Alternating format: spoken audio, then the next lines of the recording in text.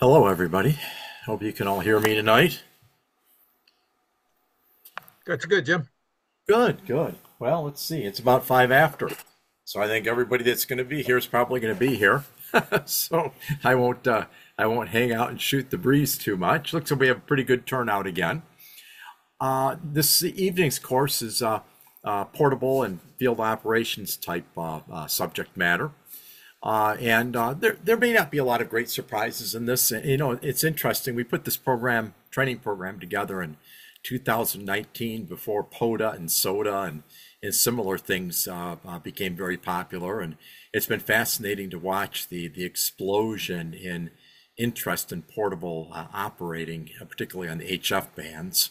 Uh, but uh, hopefully, there's some very useful stuff in this. Uh, I would encourage those to, we're going to kind of make this a little more open architecture, you might say, give people the opportunity to suggest their ideas and and uh, know, offer their insights from their own experience and so forth. So uh, it's in other words a, a, bit less academic perhaps than uh, say the uh, the course on uh, emergency communications planning or the like. So let's dig in, and uh, uh, we will go ahead and, and share the screen, and then we will do this. Let me go ahead and minimize this here, and can everybody see the see the slides? I'm assuming, since I hear nothing, that you all can. Yes. I've got them good here. Excellent, excellent. Uh, let me do one other thing before we, we go further. Make sure, yep, I am recording this.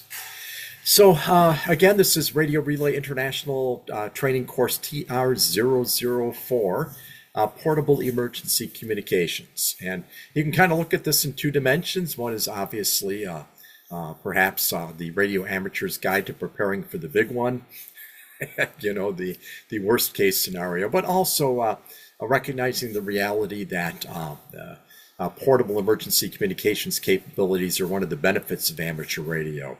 So, so you may uh, you know recall in the uh, introduction to emergency communications planning course, we talked about the disaster communications pyramid, at which the at the foundation of which is survivability uh, but above which is, uh, in second in priority, flexibility, right?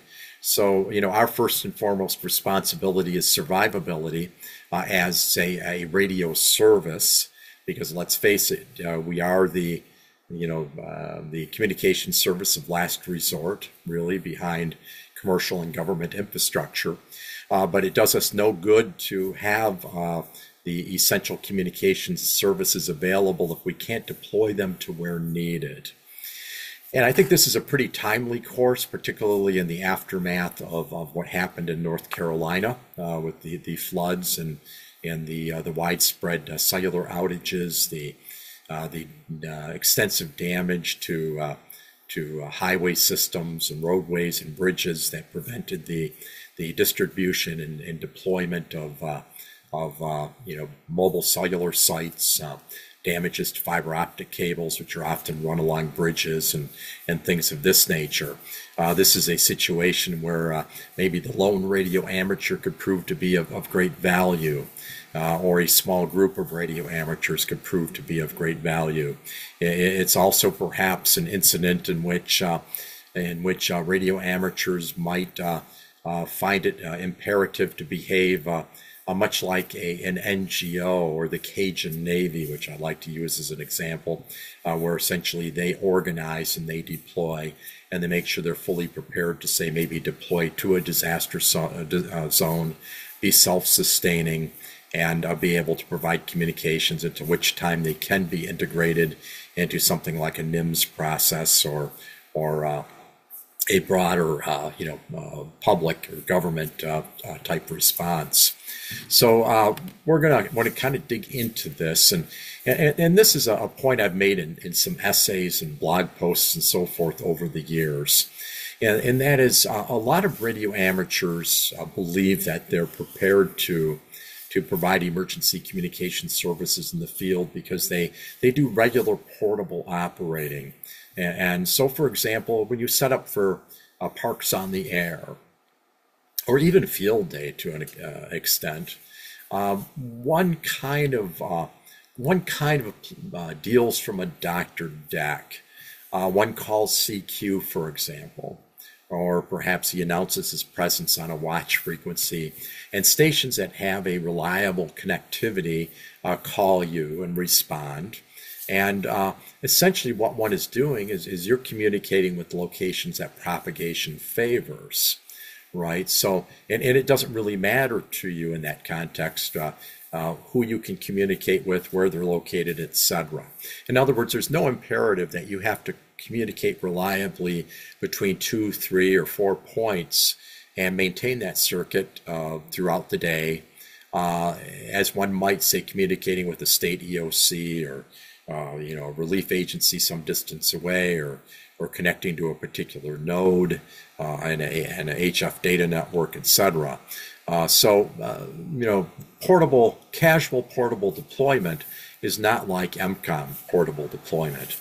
Uh, another uh, mistakes hams make, quite frankly, is well, okay, I've, I've established communications on on HF from from my park on the air location. But in reality, most of your communications is going to be limited to simple, very predictable exchanges. Uh, you know, for example, maybe a signal report, um, reporting one's QTH. If it's a contest, maybe a serial number or the like. And, and in reality, these uh, predictable patterns make it easier to, to copy intelligence or information, uh, regardless of uh, conditions, right? So if I have a weak, barely readable signal, okay, but the message content is something that's highly predictable and maintains a pattern, it's easier for my brain, you might say, to, or uh, my, my system to uh, essentially call that information and translate into something that's understandable and usable. Uh, the world changes when you have to handle communications on behalf of a third party.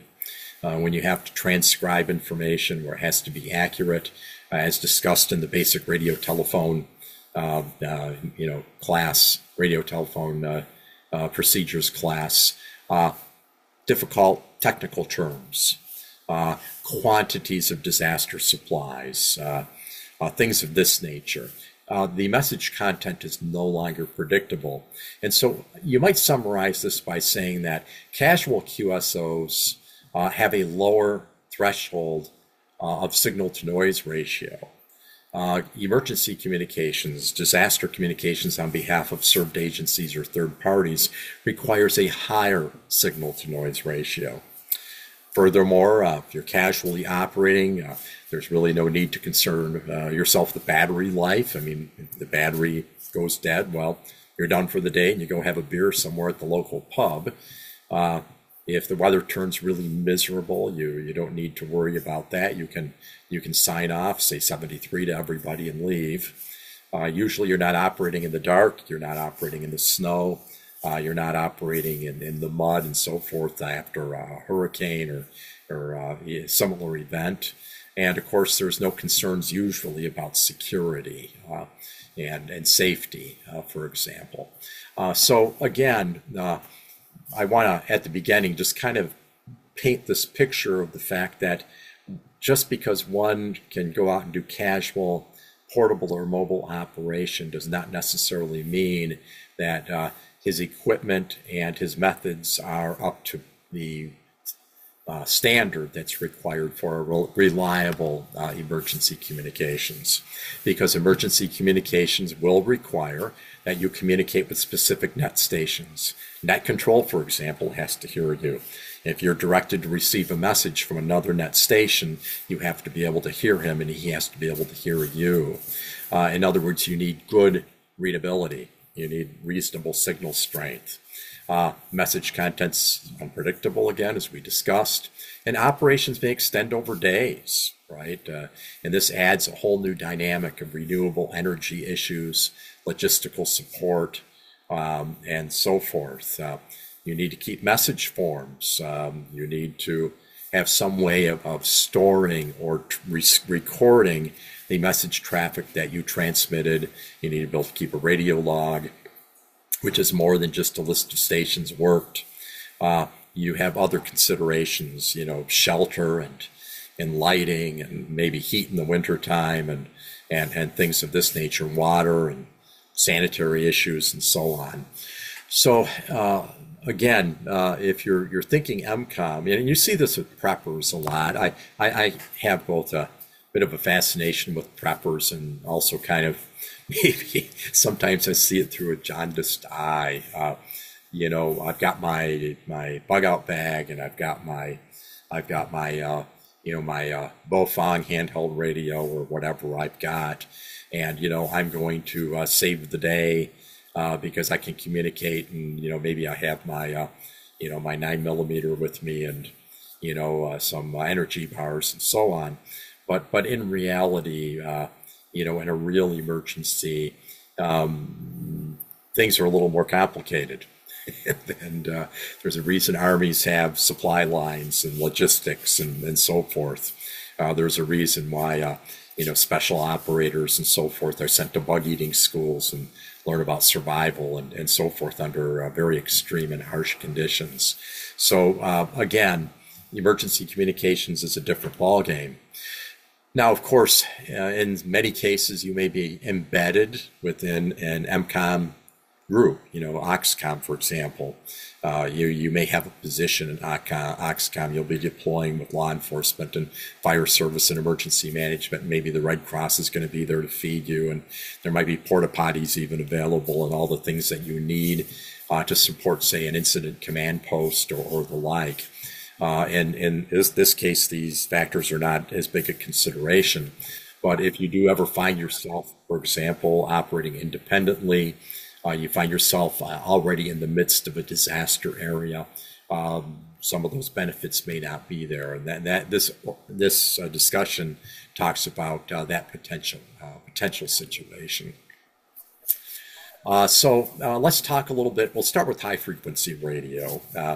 Um, the main reason being is, uh, of course, RRI is centered primarily on high frequency resources, uh, and of course, high frequency radio offers some some uh, very beneficial characteristics. Uh, as uh, as a, a, couple of individuals at uh, FEMA um, said to me back in, in 2015, a high frequency radio is the weapon of choice. Uh, the reason being is its survivability, as we discussed in the disaster telecommunications pyramid. Uh, one of our duties here is to ensure, first and foremost, a, survivable method of communications. Uh, if you have your a radio or a conversation going on in the background, uh, uh, please mute your mic. Uh, that that would be helpful, I think, for everybody. So let's talk about high frequency radio. And so let's start with the, you know, maybe the 500 pound gorilla in the room. And this is uh, how much power do I need to communicate reliably? Okay. Now, of course, uh, as you all know, in, in many cases, uh, what's called QRP level power is adequate for some modes, be it uh, uh, let's call them the fuzzy or narrowband digital modes uh, uh or CW. It's usually inadequate for voice, but nonetheless, for CW or certain digital modes, uh, QRP may very well be enough. And and, and there's uh, there's uh, precedence for this in military communications. If you take the the older Manpack radios, uh, or you know either U.S. or, or, NATO, you know, for example, a, a, a PRC 320 or something like that, the default's five watts. The higher power position's 20 watts, right? So you know, military experience, they kind of learn that you need to have both options. Uh, five watts you use if possible to preserve battery life on a manpack radio, and maybe use 20 or 30 watts if necessary for critical communications.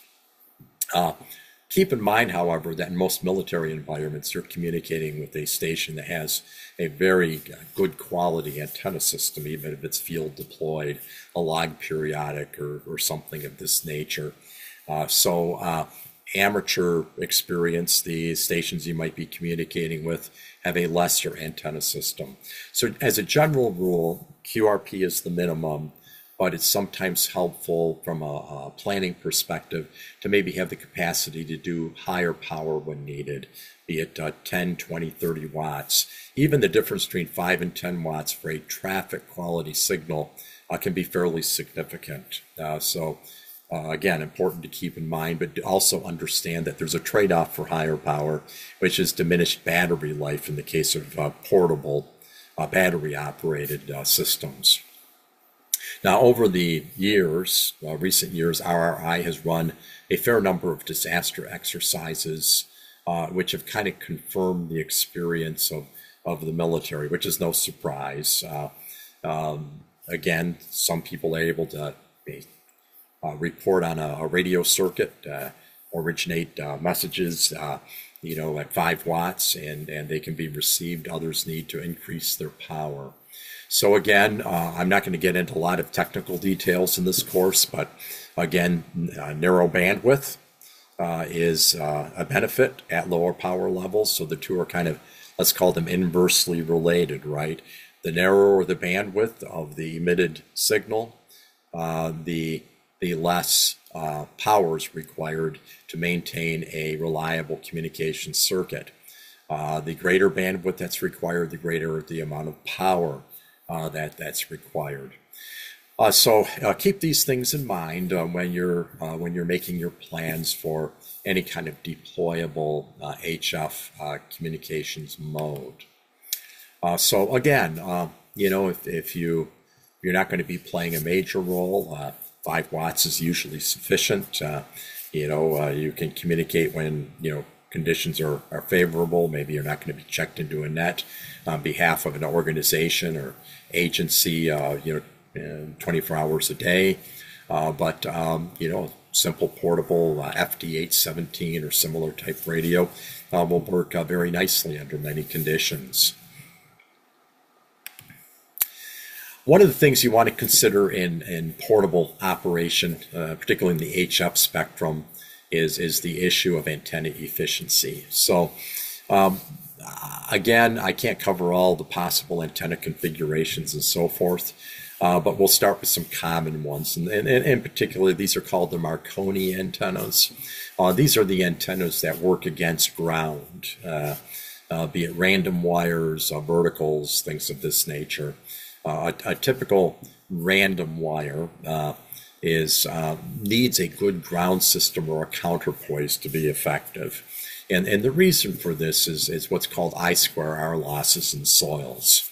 So if you're going to utilize a random wire for your field operation, uh, it's not necessarily a problem, uh, but you may want to uh, utilize an association with that, either an elevated counterpoise or perhaps uh, at least a couple of uh, lengths of uh, maybe quarter wave or, or wire laid along the ground. Uh, generally speaking, research over the years has shown that uh, a couple, I mean, two or three pushing ground rods uh, spaced some distance apart are more efficient than one deep one when it comes to, to managing losses in soils. Another thing to remember with antenna efficiency that is once you go be, uh, below a quarter wavelength in length, okay, so for example, a quarter wavelength at, at uh, 75 meters is going to be in the range of 60 feet. If you begin to shorten that antenna, antenna say to 30 feet or 20 feet or whatever, uh, the radiation resistance uh, will decrease. Now, the term resistance is a little confusing radiation resistance is that characteristic within the antenna uh, itself, the antenna circuit, which actually radiates the electromagnetic energy, right? So lower radiation resistance is bad, generally speaking. A higher radiation resistance is better. Short antennas, uh, um, you know, uh, particularly, you know, again, uh, Marconi type antennas and the like, uh, they have uh, somewhat lower radiation resistance. A mobile HF uh, antenna, and we'll talk about this in the later slide, may have very little um, radiation resistance and is therefore far less efficient than, say, a, a random wire or a dipole. Again, uh, broad sweeping generalizations in some respects, but the rules do do apply nicely for portable communications. Uh, so, uh, you know, we could get into a very what you call esoteric, you know, discussion of antenna theory, but hopefully this makes some sense. So again, if you're going to run a random wire tuned against ground, um, you know, make sure that uh, your ground is efficient as, as possible. Uh, find ways to mitigate losses in the soils, be it through an elevated counterpoise, uh, you know, uh, maybe some uh, uh, pushing ground rods that are a few feet long, spaced, you know, maybe two or three of them spaced some distance apart will help, and so forth. likewise, when you're running lower power, uh, you may want to consider the efficiency of the tuner or balun that you're utilizing for your, your matching network. Um, obviously, if you're running 5 watts uh, in terms of a readability on the other end of the circuit, the efficiency of the tuner or balun has a greater impact on performance of your portable station. Uh, so uh, you want to kind of uh, utilize a good quality tuner, a good quality balun ironically, at, at lower power levels, a uh, for example, uh, the comp- if your you know, components in your tuner or your loading coil or your balance designed for higher power levels, it will usually actually increase your efficiency more than it would have a greater impact on a low power device. Not always true. It depends on how it's engineered, but I, I think you kind of get the idea here. So uh, you know, consider the antennas you're going to use. Uh, so, for example, uh, uh here's here's two different types of antennas. Uh, we'll talk about verticals in a minute, but the one on the left is a, a vertical antenna over here. Uh, here you can see the loading coils. here you can see it's being supported by a, a, surveyor's tripod. And then uh, you can't really see it in the picture, but there's a, there's a couple of radials deployed outward and elevated above the soil underneath this uh, uh, underneath this vertical antenna. And uh, that arrangement uh, uh, works very, very well. if you look here on, on the right, I back in 2017, I did a whitewater rafting trip down the Colorado River, and I took along a, a portable HF uh, transceiver and uh, used that for uh, periodic check-ins from campsites along the, the bank of the Colorado River, where NVIS was, kind of the, the arrangement.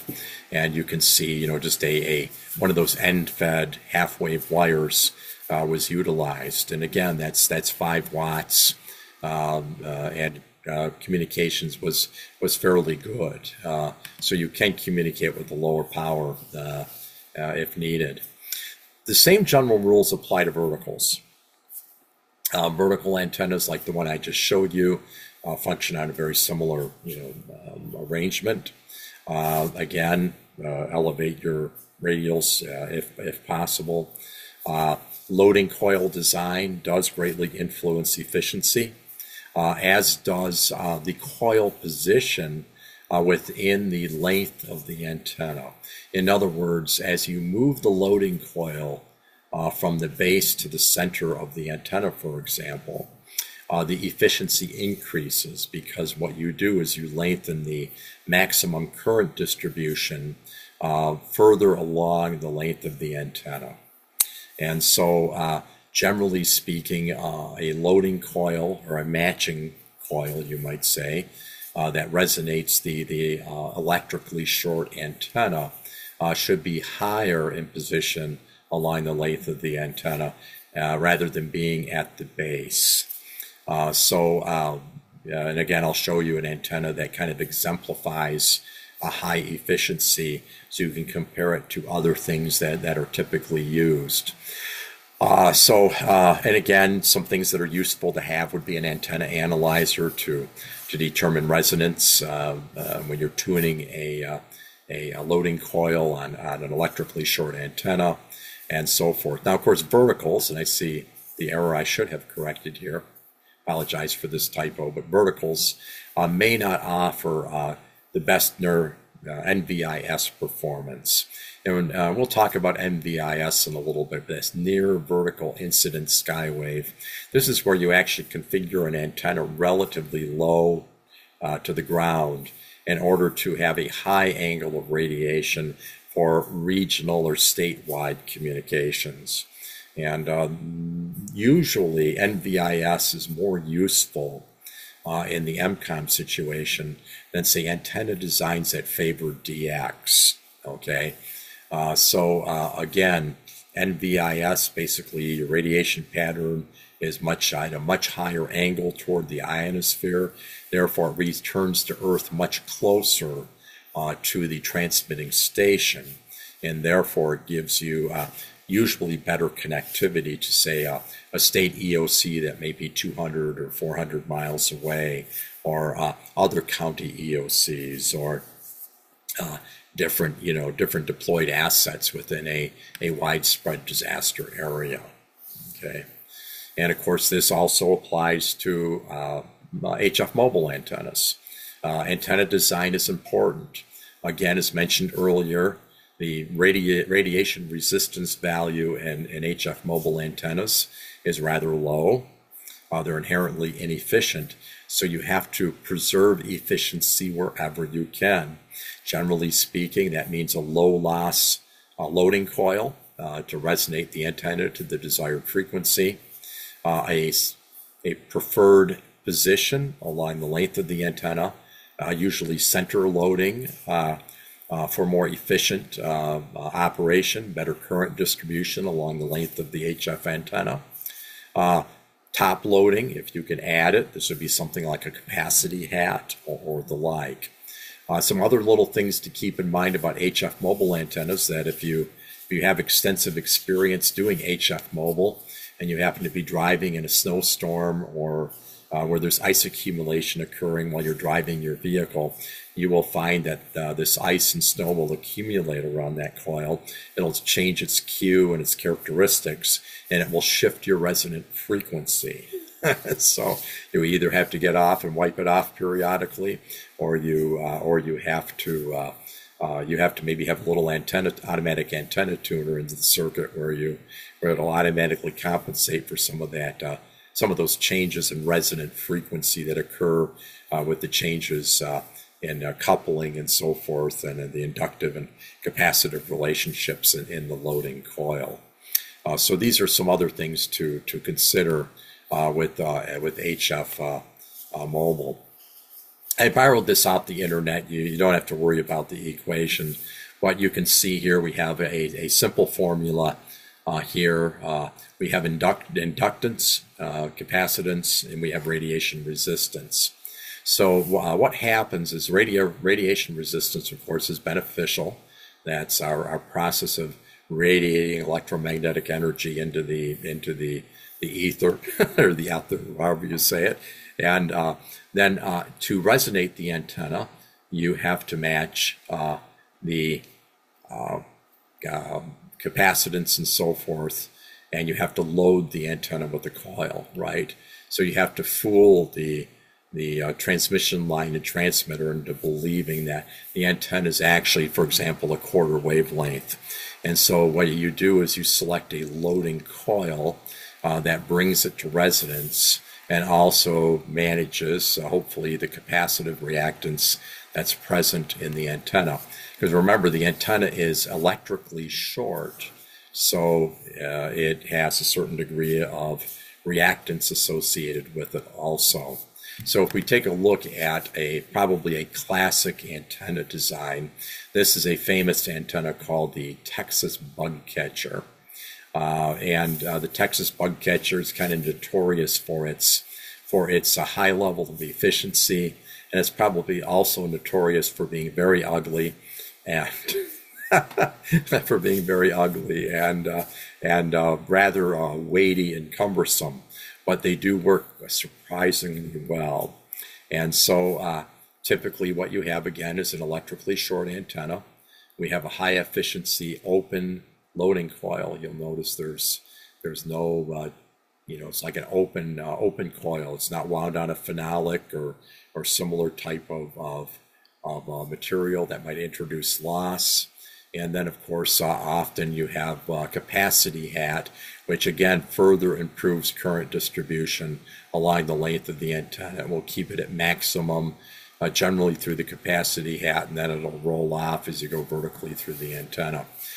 So uh, this would be, I guess, what you would call a, a, highly efficient HF mobile antenna. Now, of course, there's a trade-off for this, right? Appearance, a wind load, uh, the mounting system, etc. Uh, it may not be practical to have one of these on your car. Uh, maybe you don't want to look unusual or too unusual driving down the road. So we make compromises, right? Uh, we have the Hustler antennas with the interchangeable coils. We have some of the low profile antennas that still work fairly well, like the, the Comet UHV6 or UHV4 and so on, that have smaller loading coils. Uh, perhaps we have those, uh, those helical antennas. Uh, it it uh, really uh, depends on this trade off between uh, the mechanical nature of the antenna and the electrical nature of the antenna and finding that place where the two agree. The one advantage of HF mobile operating, however, is that even though it's a compromised antenna, you've got a essentially you're riding in a generator, right? You've got a full tank of gas, a decent sized um, you know battery in good condition, and it's not an electric car, but it's an internal combustion engine. You can generally operate at higher power levels uh, from an HF mobile arrangement then you might be able to in the field with, say, just battery power and a solar panel. That is, at least until you run out of gas. And uh, we will touch on that subject uh, a little bit later uh, in the training course. Then, of course, there's the ubiquitous dipole. Uh, uh, the dipole antenna is, is really probably one of the better, if not the best, HF portable antennas can be deployed between two supports, or with one support, it can be deployed with uh, in the form of an inverted V, right? Um, and uh, you can uh, pretty much toss a wire over a, a, rope over a tree and hoist it up. Um, and I've done that with trees. I've done it with uh, light poles and parking lots uh, uh, at you know police headquarters and, and things of that nature uh, in, in emergency operations situations. So, um, you know, the dipole antenna has the benefit that it's a balanced antenna. Uh, and it tends to uh, you have less of these concerns about losses in, in soil and you know short antenna efficiency and so on. Uh, the, the, obvious disadvantage being that a, a say an 80 meter uh, dipole antenna is going to be 120 feet long. You know, 40 meter antenna is going to be roughly 60 feet long. And so uh, you, you run into perhaps some space issues. But uh, the dipole is, is an excellent choice. Uh, but you need to keep a few things in mind.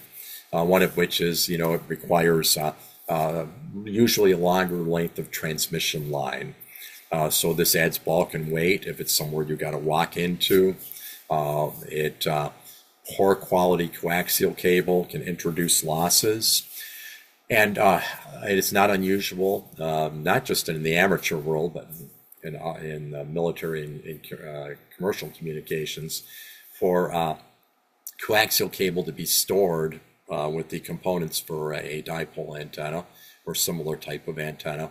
But the problem is some of the um, some brands of coaxial cable particularly the older ones that have kind of a foam dielectric, uh, that can become hygroscopic over time, and the coaxial cable can actually become kind of lossy, just sitting sitting in a storage box somewhere, or in a 55 gallon or 5 gallon drum, or, or whatever the case might be.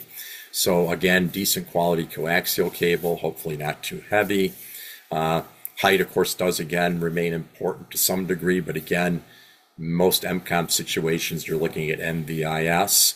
You're looking to communicate maybe statewide. Maybe you're looking to com- uh, connect to WinLink nodes or the RRI digital traffic network.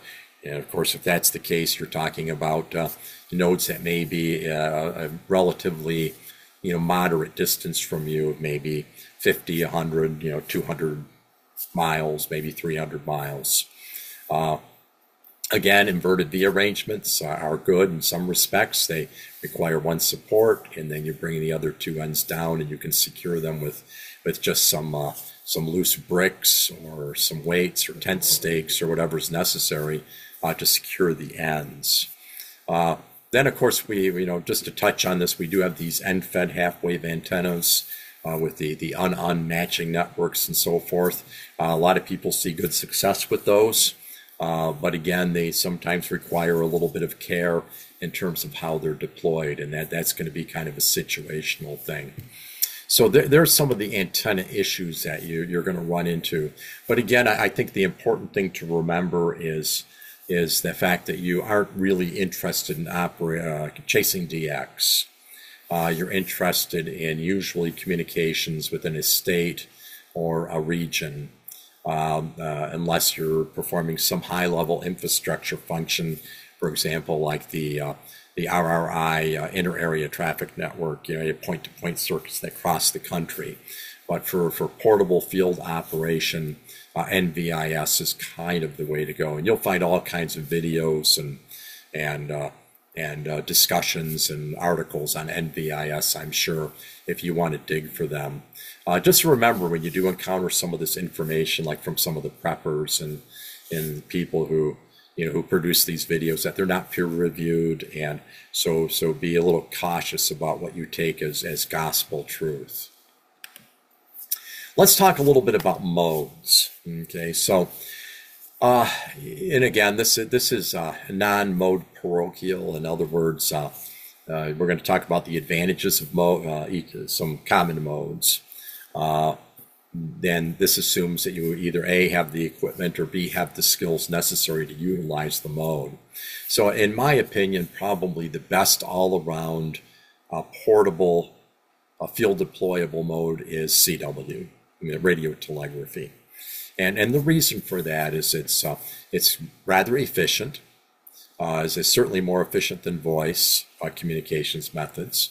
Uh, it really doesn't require a lot of power to communicate reliably. You don't require any ancillary devices to use CW. All you need is the transceiver, uh, a source of power, uh, and a key, and that's it. And so you can you can take a portable HFCW rig and uh, even if you're out in the rain, uh, you can, you know, you don't need to worry about a laptop getting wet. You don't have to power a laptop. You don't have to power a, a sound card interface. You don't have to power a tablet, uh, etc. And of course, the, the human brain, right, is, is your tool that transcribes the, the record message traffic. There's no need for printers and, and the like because you can transcribe the message traffic by hand uh, preferably, you know, on a, if you're out in the rain anyway, a, a you know, a write and rain type uh, pad or something. But, but generally speaking, CW is really a, a pretty magical uh, portable mode because it balances, uh, it has relatively narrow bandwidth, uh, therefore a, a fairly high level of efficiency for the amount of battery power that you're going to consume. Uh, you don't require any ancillary devices or you know cables that run between the the uh, a computer and, and a transceiver. All you have is the key and your power source, and, and that's it. The flip, the only issue uh, with CW obviously is the fact that you have to be fairly proficient in, in, in CW operation. You have to be able to copy code, and you have to have some traffic handling experience. Uh, but if you if you said to me, okay, big disaster is happening tomorrow and you can only take you can only use one mode uh, and that's all you're going to have. I, I, would vote for cw because of these advantages. On the other hand for most of us uh, maybe you know uh, or most hams i should say a single sideband is probably the most ubiquitous mode. I call it a common denominator because pretty much anybody anybody has access to single sideband. Everybody's gotten a single sideband transceiver. The problem with single sideband is is really twofold. Uh, number one, it's much broader bandwidth, uh, and therefore uh, requires more power for the same level of readability on a circuit. Uh, it's relatively slow for conveying record message traffic, and uh, and of course uh, you know, just like CW, it, it fools you into believing you don't have to develop the traffic handling skills that are needed for really effective communications because talking is natural. But in reality, you might not be as difficult to learn as say maybe uh, maybe being a proficient CW operator, but you you still have to develop the skills to use it efficiently, right? But as a general rule, a 10 or 20 watt CW transceiver uh, is going to offer the same level of readability, sometimes more, uh, than a 100 watt uh, voice uh, uh, transceiver. And, and that's really important if you're using, for example, batteries and renewable energy. Uh, so, you know, and it's at QRP levels, single sideband is almost useless in, in, in a net configuration. Um, just again because of the uh, issues of co-channel and adjacent channel interference, uh, the wider bandwidth required, and uh, therefore uh, you, you, drop uh, you know the, the the minimum signal to noise ratio level is uh, is much higher for single sideband than it is say for for CW or a narrowband digital mode. digital obviously um, has a nice combination of benefits. Uh, uh, obviously, uh, certain digital modes like Pactor in particular or VARA, they are automated modes. Uh, they handshake automatically. They they do error checking automatically, at least within the confines of the communication circuit itself. Uh, and so there's much to be said for the automated modes uh, or capabilities of some digital modes. Uh, some of the new narrow bandwidth modes are relatively slow uh, data throughput, but very you can almost uh, uh, decode a signal that you well you actually can decode a signal you really can't hear. Uh, so they have incredible capacity to to get a uh, message through even even when the the signal to noise ratio is really unfavorable, right?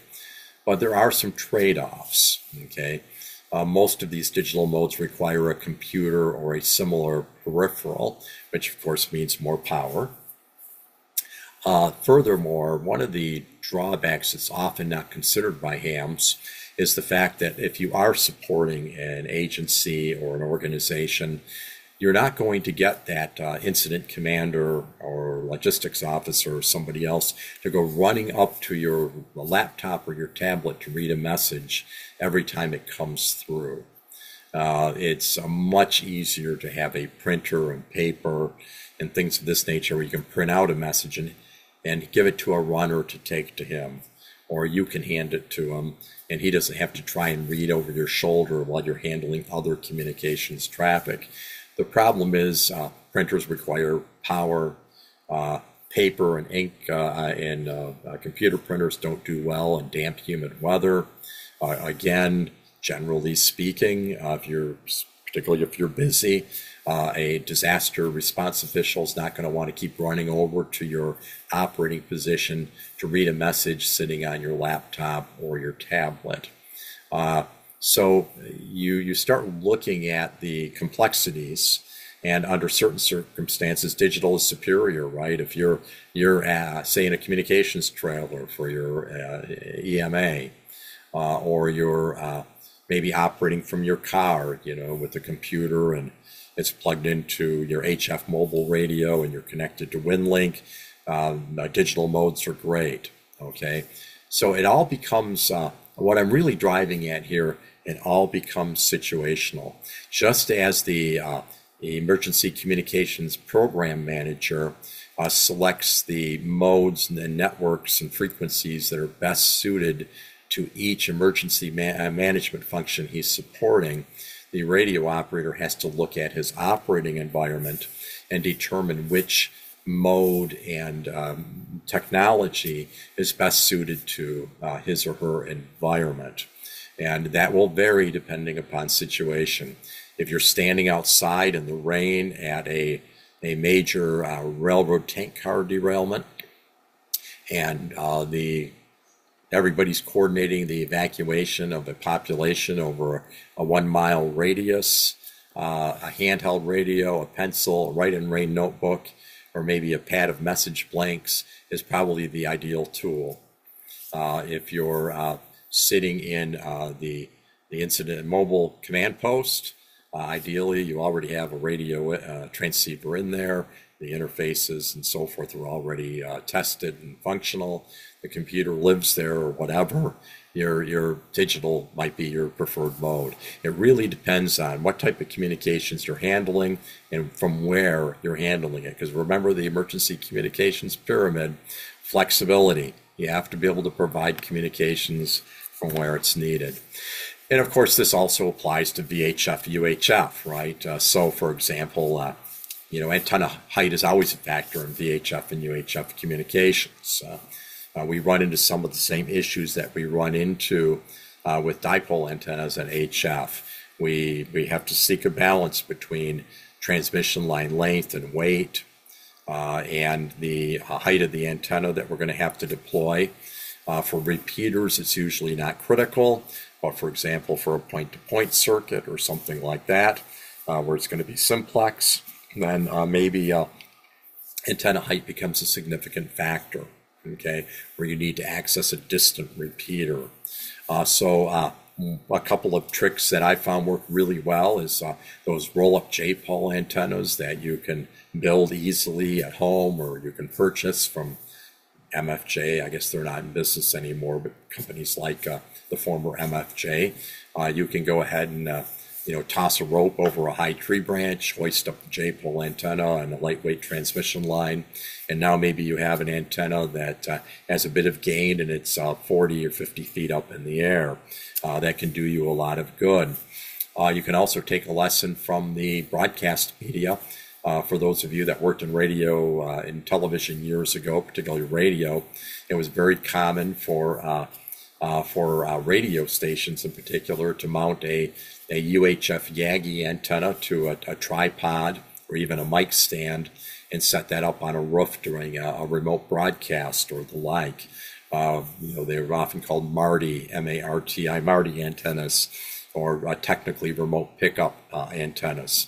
Uh, so you can design something like that, you know, using a, a tripod or, you know, an, uh, an old mic stand or, or, something of that nature. Uh, but again, the idea is that you you need to be able to establish a good, solid, reliable circuit if you can. Let's uh, shift gears here for a moment. And so now we've kind of talked about antennas and, and things of this nature.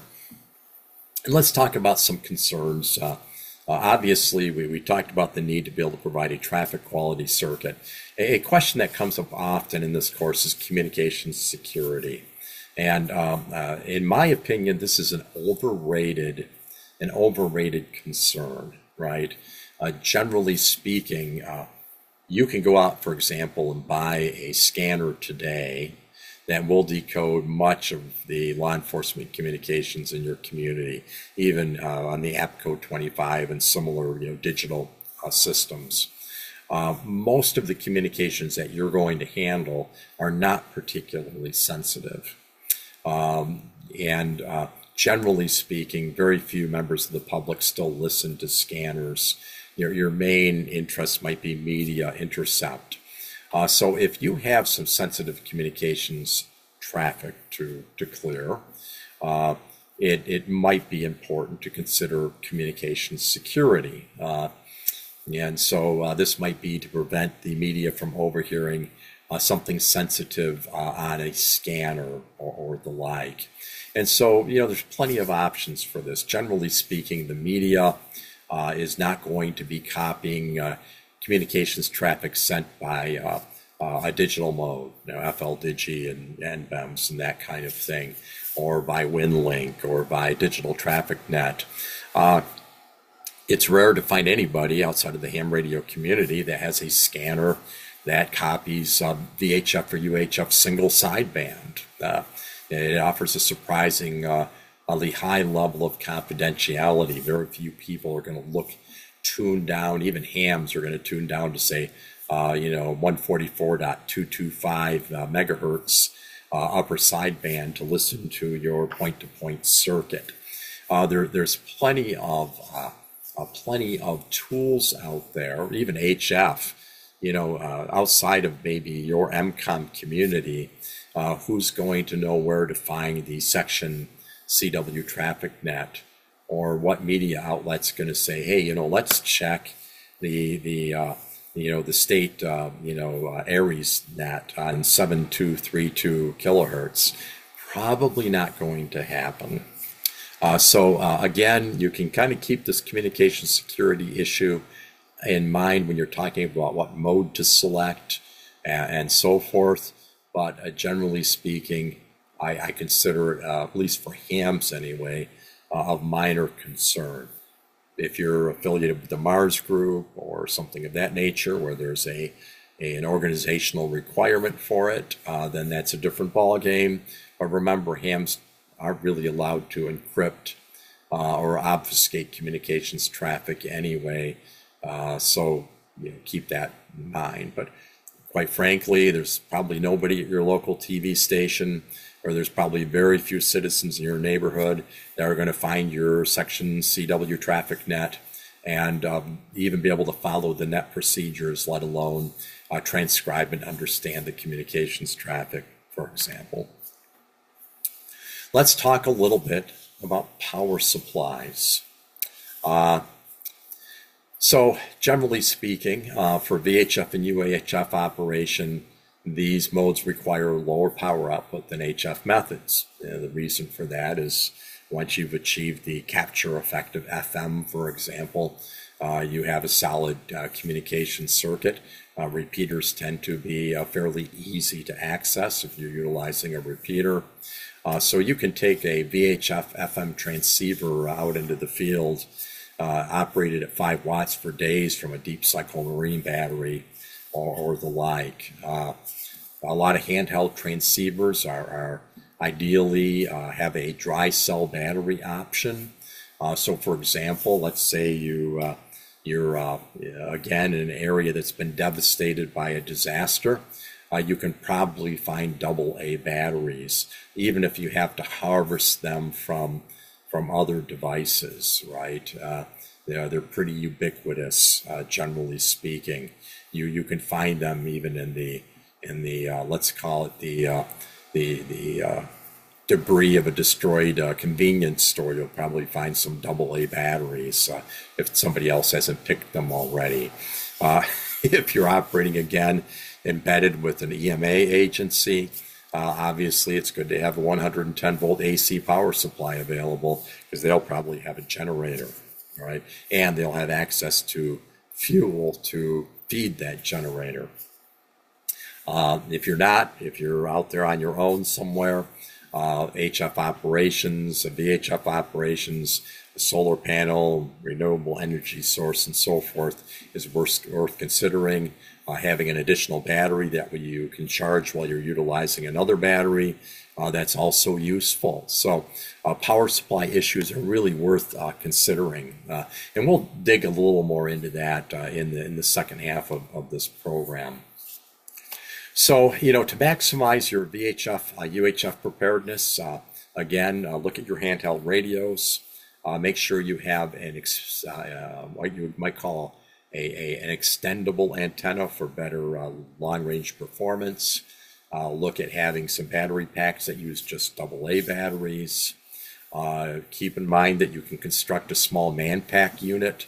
Uh, for example, you can take a, a 25 watt uh, VHF transceiver, uh, maybe set it to 5 or 10 watts, and you can put a couple of good sized battery packs in a, in a backpack and uh, you know maybe mount an antenna on it.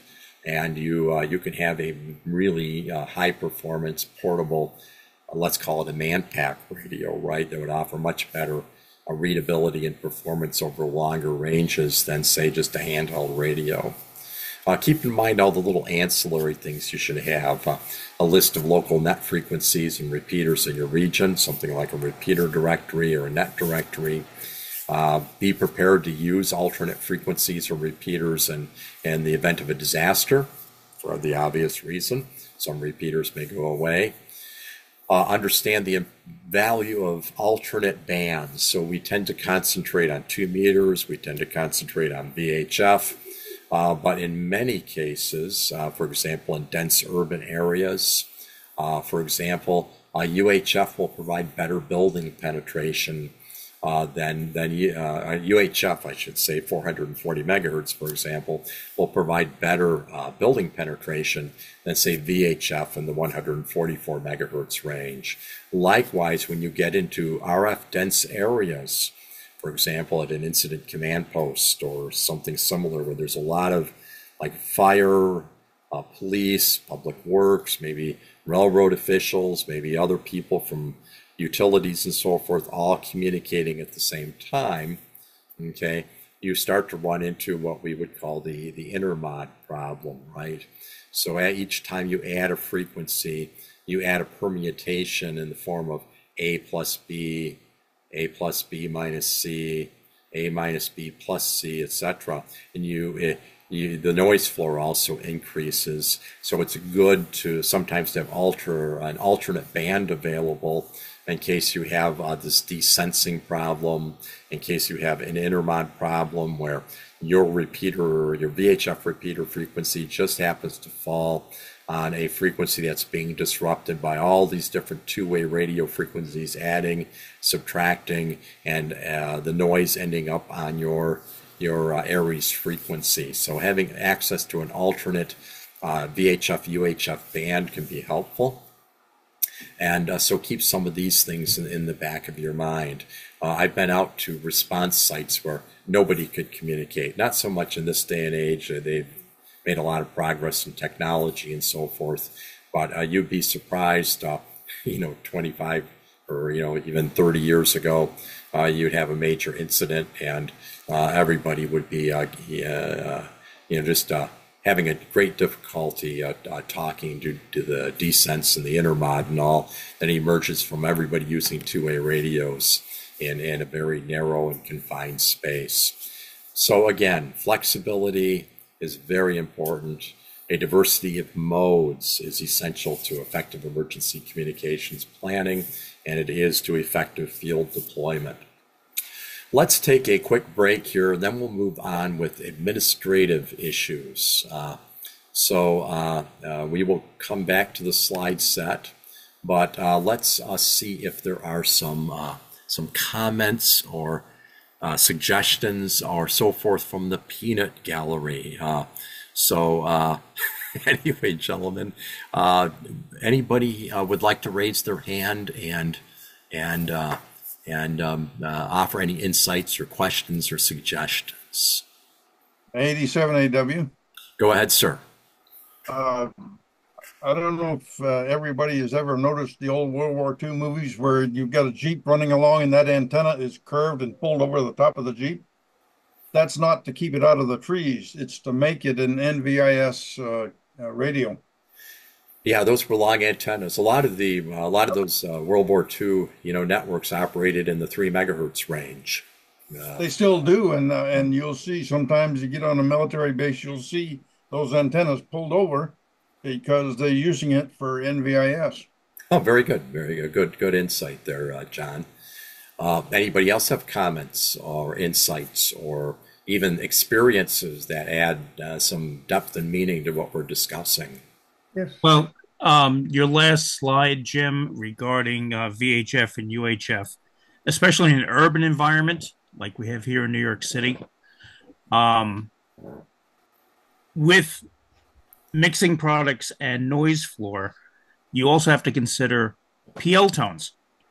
We've we had a situation uh, for the New York City Marathon start over Fort Wadsworth, which is in the shadow of the Verrazano Bridge and the Triborough Bridge and Tunnel Authority used a particular PL tone on their repeaters, which just happened to be the same PL tone we were using for something else, and their communications bled right through because you know there was such an overload.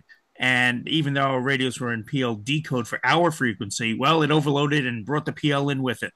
So, you know, it's not just you know change um, your frequency, change your band, change your mode. Like I like the sideband uh, idea, Um, but also be aware PL tones can cause a problem too, and you don't want to match up with something that's being used in the area. So be flexible with that too.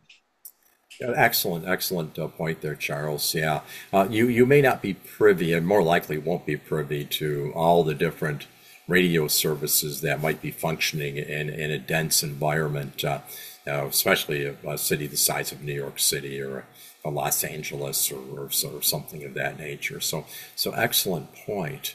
Uh, Gene, uh, N3XUS, I see you've raised your hand. Go ahead, sir. Yes, good everybody on the net. Can you hear me okay? Yeah, you sound good. Okay, great. Uh, I'm a retired Army dude, worked telecommunications for over 24 years.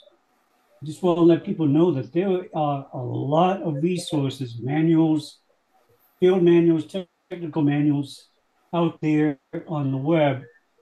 Some of them are PDFs that you can download for free. Others are physical copies that you buy, but they are concerning military communications, specifically antenna systems out in the field. Very, very simple systems, doesn't require a lot to put them up. And there's usually no tuners needed. You just to do some mathematics and measuring the, uh, the wires. But I just wanted to throw that out there, something to think about. Yeah, th- thank you very much, Gene. Yeah, the the the army, the army has uh, uh, decades of, of experience with uh, you know, field expedient uh, uh, solutions, um, uh, portable communications, you know, antennas.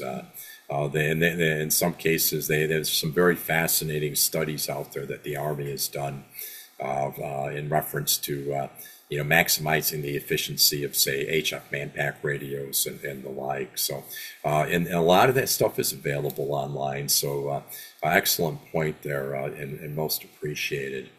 Uh, is there anybody else that has a comment, uh, question, experience that they information they would like to share uh, regarding the content uh, uh, up to this point? AD7AW again. Yeah. Uh, I one of my things is antennas, and I put together an antenna that I still use almost every day. At 40 meter end fed, it's about 10 feet off the ground and it's a killer. Um, I go all the way from the middle of Washington here to Montana uh, on uh, 40 meters in the afternoon. Uh, and uh, that 40 meter end fed half wave is not that hard to put together. I know, no, they're not. And you can buy commercial versions of those too uh, uh, if you're uh, uh, not uh, not technically savvy, right? yeah but the uh, the coil itself, the um, and I've got stacked uh, two and a uh, two and a half inch cores for that. Uh, but with 18 windings on it as an auto transformer to make it a 68 to 1 uh, uh, or 68 to 2, uh, that thing does very good for me. Yeah, yeah. The the end-fed uh, antennas, if, if of good quality uh, do work quite well, and, and I that I have several of them which I I, I like and I use use pretty regularly. Uh, so yeah, thank you for for adding that, John. Okay, any other uh, one more uh, opportunity here? Anybody else have a comment or uh, information they'd like to share before we move on?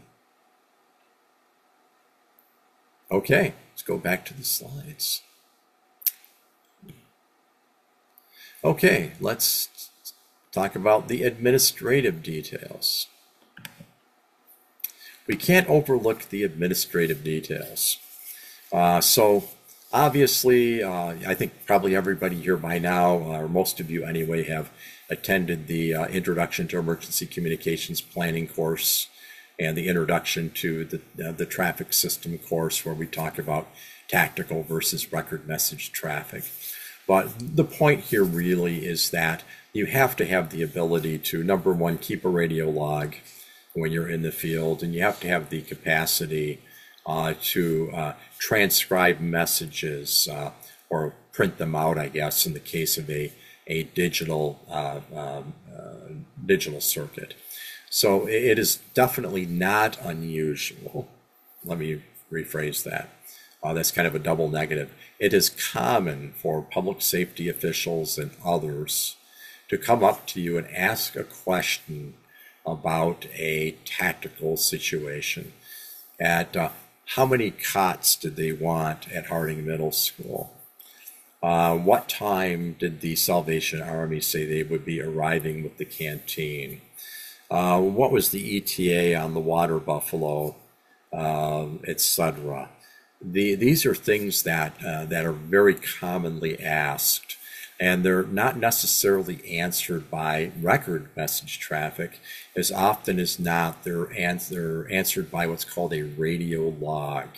So you need to keep a, a decent radio log that isn't just, uh, you know, uh, who you're talking to, but it's uh, the time that the communication occurred, the station with whom the communications was transacted, and a brief summary of the content of that communication uh, with that station. So you might say something like, uh, you know, at, at 2113, you know, WB8SIW, uh, reported ETA water buffalo at uh, you know 1315 or you know at uh, 1517 uh, you know uh, W6RRI reported that 15 co- additional cots were required at Harding Middle School. Uh, these are the, the kinds of summary things that you would put in a radio log. Obviously, record message traffic is your ICS 213s, uh, you know, the radiograms, uh, uh, things of this nature that actually are addressed to a, a third party, be it a, a disaster official, uh, a, a position within the NIMS structure, or perhaps a, uh, you know, perhaps a third party in the case of welfare traffic, etc. This is traffic that actually has a text. The text has to be transmitted as written, uh, and you have to note to whom the message was transmitted or from whom received, and so forth. And I think you all know that by now. Uh, but do understand the difference. You know, the point here, though, within the context of this training class, you have to have the ability to do this in the field. And so let's start with the basics, right? So we, we kind of alluded to this earlier. Uh, you should have the ability to transcribe messages, uh, uh, you know, on paper. This is uh, easily enough done. Paper, pencil, uh, now something in which to keep a, a radio log. Uh, so, uh, for example, uh, this is a, a little lesson that you, you may learn someday, but uh, the the reality is that a pencil is often better than a pen, and you may ask why. And well, the reason for that is pens don't like to work when it's like 20 degrees outside. And so, if your disaster occurs in the wintertime in a northern climate, and you have to deploy somewhere where it's uh, cold and windy and miserable, uh, you'll the, the pencil will be a good friend. I learned this doing you know uh, land surveys. the, uh, you know you got to keep very meticulous field notes, and uh, you know you're recording uh, you know all the data for the survey, and and a pencil is really your friend. so you want to have the capacity to to transcribe information uh, onto message forms and keep a radio log. Okay, uh, one tool that I found is, is very wonderful to have is the Rite in Rain uh, notebooks. I like the Level Book, which is a surveyor's tool. Of course, I'm comfortable with them for the obvious reasons, uh, uh, but uh, they have vertical columns in them. And uh, the reason for that uh, is that it makes it very convenient for creating columns in the field. And see if I might have one here in the cupboard, I'd show you live, but I don't think I, I have one uh, really handy. But if you take a look at them, they're, they're called a level book. And these you can use in the rain. It can be raining outside. If you've got a pencil and you've got a write in rain notebook, you can keep a radio log. Okay, very, very handy. The uh, um, for message transcribing, I found the Rapid Memo books. Uh, uh, they still make these. Um, as far as I know, you can still go to Office Max or Office Depot or whatever and buy these Adams Rapid Memo books. And they're really meant for like industrial environments or for change orders uh, in construction projects and the like. Uh, but essentially, they're a duplicate type of thing. There's a, a white page, and beneath that, a yellow carbon copy page. Uh, you can put the uh, upper box, you can put administrative data. For example, message number five, you know, priority WB8SIW 25, you know, uh, state of EOC 2313 Zulu, December 4. Um, and uh, then, of course, the two line uh, for the name of the addressee, the agency, title, etc., the date, the subject. And then, of course, there's a sizable amount of room for both the text and the signature. Uh, the nice thing about these, you get, after you've transcribed the message, you tear off the white copy and you can hand it off to the disaster official and forget about it. But underneath is the yellow copy, which is retained with the booklet. And once you've used up all the forms, you've got a nice, neat book of 50 forms, um, 50 messages that you transcribed and you're not going to lose. And the, these are perfect for dropping into a, a Go kit or into a, a, packet for an ARES group if you're going to be building up packets for deployment, uh, etc.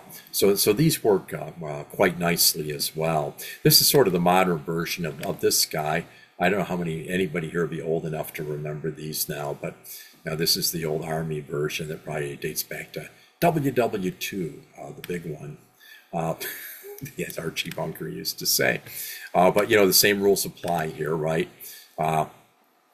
We want to make sure that we write or print neatly, that our, our writing is legible. Uh, again, uh, you know, you uh, uh, you have to make sure you put the little cardboard cover between each message blank so you don't get multiple bleed through to the other versions. But this is a really great solution uh, for basic uh, basic administrative tasks. Right? So so keep that in mind. Generally speaking, we want to, again, format and transcribe the message clearly. Most amateur radio networks and even most public safety networks are case insensitive. Okay. So, for example, if I call a police officer on his talk group on an APCO 25 system, and I say uh, Unit 55, you know, Unit 550, uh, uh, you know, advise ETA, uh, you know that's a voice communication right there's no there's no uh, formatting necessarily to that if i say if i uh, take a message and i say i have a message for you from uh, say the uh, wayne county uh, coroner it reads as follows okay uh, that may be transmitted by voice or by telephone uh, it's hard to say ultimately how a message gets to its final destination. So, as a general rule, my philosophy is we transcribe in all caps. This clearly indicates uh, both to the recipient as well as to the originator that the message may have been relayed or transmitted via a case insensitive mode. Uh, and that also allows it to move to circuits that are either amateur or non amateur that are case insensitive uh, in nature. Um, generally speaking, where you have uh, scientific abbreviations, you have to be very careful uh, in uh, transcribing these and writing them so they're clear. Uh, or uh, ideally, the originating operator, in the interest of these concerns, will spell them out. For example, millibars instead of MB, or millimeters instead of MM, and so on. CC, you know, uh, th- things of this nature. Um, again, always remember that last mile connectivity for a message you originate may not be visible to you. You may ultimately not know how that message gets to the addressee. So keep this in mind. But again, clarity and you know good plain writing is, is critical.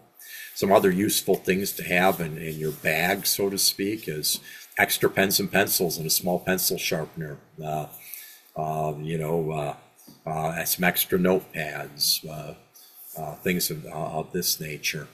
Um, and of course, the, the little extras, the extra RF adapters, the extra DC cable connectors and adapters, some spare flashlight batteries, a, a small headlamp or, or, or, or, the like. I found these to be very useful. You can buy these in most states. Uh, they're not as common as they used to be, uh, thanks to GPSs. But I found few things are a replacement for for detailed uh, maps. Uh, and I found these two types of versions work really well. One is the the atlas and field guides um, can be very useful. Uh, they're kind of designed for hunters and fishermen. And then, of course, uh, these uh, these topographical maps uh, that are uh, typically published uh, by state. I believe these are still available, but you pretty much have to buy them online. but they can be very useful for an EMCOMM situation, even if it's just to to note the location of where various stations and and you know fire stations are located and you know uh, where roads are mark where roads are washed out uh, bridges are collapsed uh, important information right uh, that uh, somebody may need in the course of a disaster operation. Uh, so useful things to have in, in, your in your box some other things to think about is is essentially when it's important not to be noticed. Uh, now, now, hopefully, uh, you won't ever be in a position where, where you need a, uh, uh you know, a, a, Luger or a 45 and uh, and uh, a, GRC 109, maybe, or something like that. but I just thought this was a cool photo to to inject in here. But there are also times it's important to not be noticed, and it's not because you're a spy or doing you know secret secret squirrel stuff uh, but uh, disaster areas can present security risks. Uh, so, you know, we've, we've had reports of amateur radio equipment being stolen um, uh, during uh, disaster operations. Uh, some of you who were around during Hurricane Katrina may have read reports from individuals about some of the very unpleasant circumstances that emerged during in the immediate aftermath of Hurricane Katrina some years back uh, in, in, certain situations, it might be best not to reveal the fact that you have set up a communications uh, system or even like a, something a little more uh, complex, like a small message center, right? Uh, so uh, just keep that in mind. Uh, so, for example, if I want to set up a health and welfare operation in, in an area that's been devastated by a disaster, uh, I might, uh, you know, ideally, I'm embedded with a, you know, public safety EMA organization or the Red Cross or whatever. But if I'm not, they, they haven't arrived yet. You know, again, situation like uh, North Carolina, where it's many days before, in some areas before, uh, you know, uh, relief agencies were able to to deploy resources. Uh, it might be better maybe to set up my my uh, communication system in a, a, somewhat secure area out of sight. Uh, and uh, you can still interface with the public, have volunteers collect welfare messages at a secondary location, and then uh, transport them to, to the communication site. so there are security considerations that sometimes need to be considered. I can tell you from my experience responding to major disasters for, for uh, uh, one of the nation's large class one railroads uh, that uh, generators are a major target of theft. If you, if you have a railroad, critical railroad signal uh, system uh, and you have a uh, guy out there setting up a generator and he tries to chain it to a post, a tree, or, or whatever, uh, I can guarantee you that in a lot of areas, uh, uh, that generator will be gone within an hour, maybe less. Sometimes as the tail lights disappear around the corner. a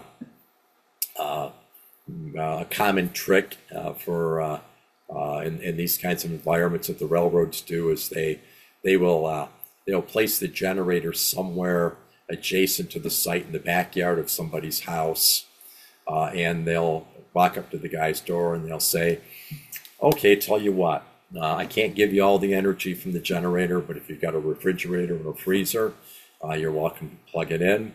Uh, the only thing we ask of you is that you you need to have somebody watch that generator.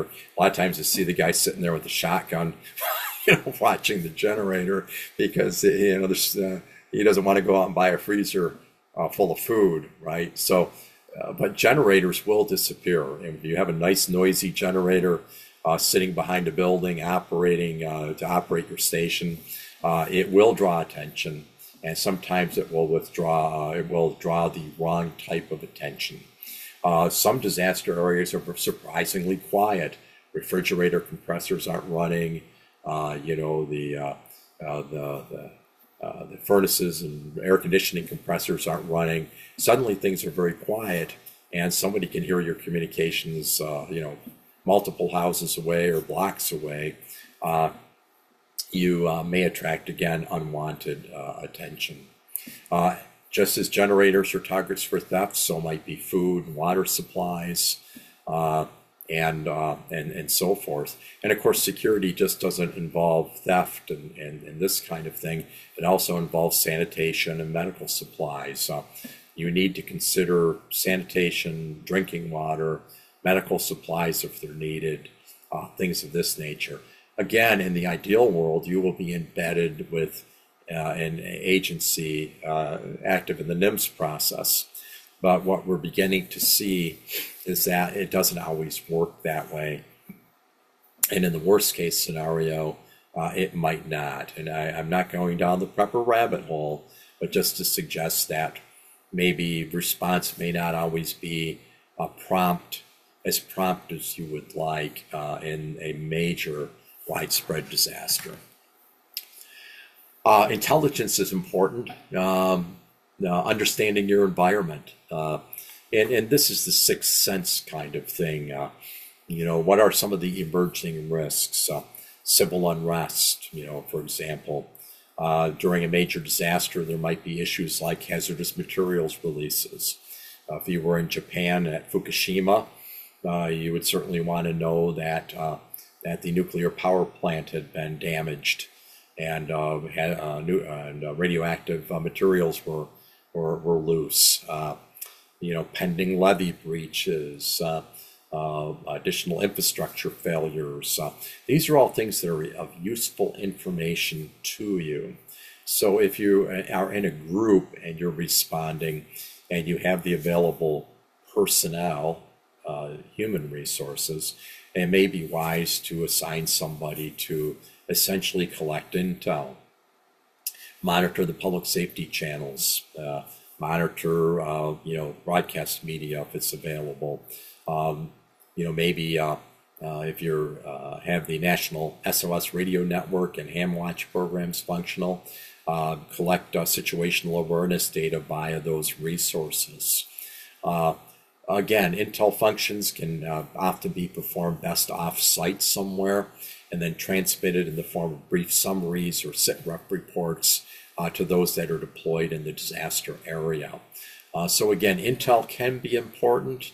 Uh, use your sixth sense. Uh, you know, hopefully you'll never encounter any of these things, but in the interest of completeness, you should be aware of this. Again, you know, back in 2020, if somebody if somebody had told me in 2019 or 2018 that that uh, 240 bill, I think it was 240 buildings were going to be burned uh, in Minneapolis.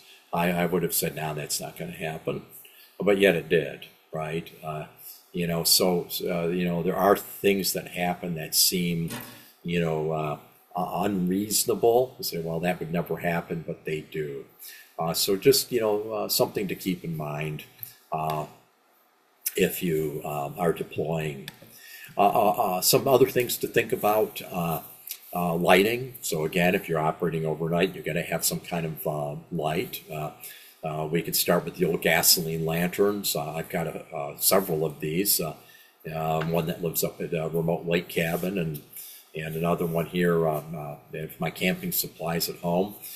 these older gasoline lanterns are are much more efficient than the propane gas lanterns. You know I use the little propane cylinders. As a matter of fact, the white gas, the Coleman white gas, for example, is uh, 13 times more efficient than propane.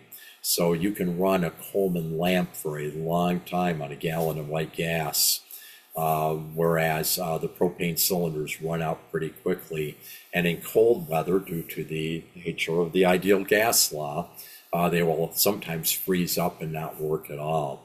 Uh, but the advantage of the, the older gasoline lanterns, of course, is that they have a nice broad area light and they do produce some heat. Uh, the drawback, of course, is you don't want to use them in a very confined or poorly ventilated space because of uh, you know the the issues of carbon monoxide and the like. Uh, today, LED lanterns are very common. Uh, they can operate for a long time off of, off of simple batteries, uh, D cells or double A batteries or the like. Don't have to have any fuel, etc. Of course, they don't generate any heat. Uh, some, however, do produce RFI.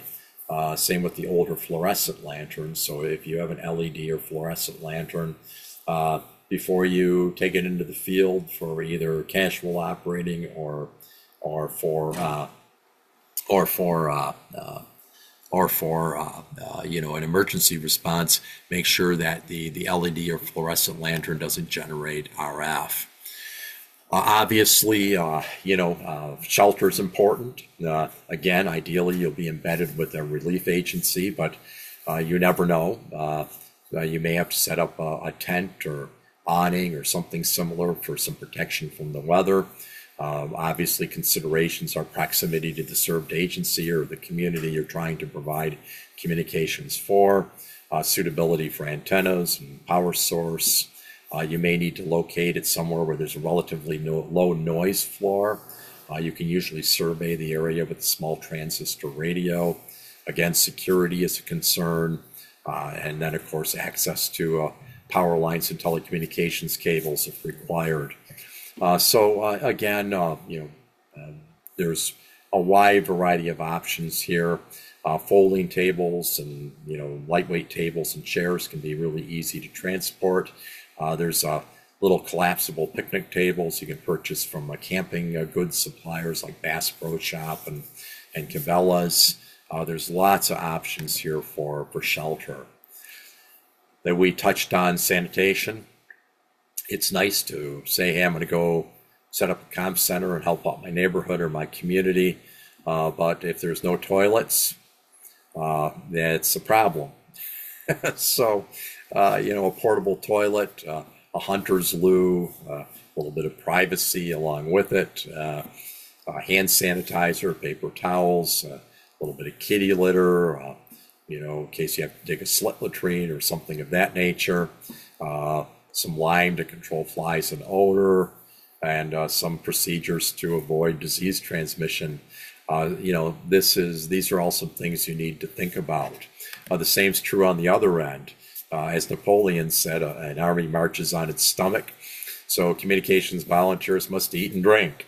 Uh, so, for example, basically, the you need some drinking water okay, uh, for uh, for each person.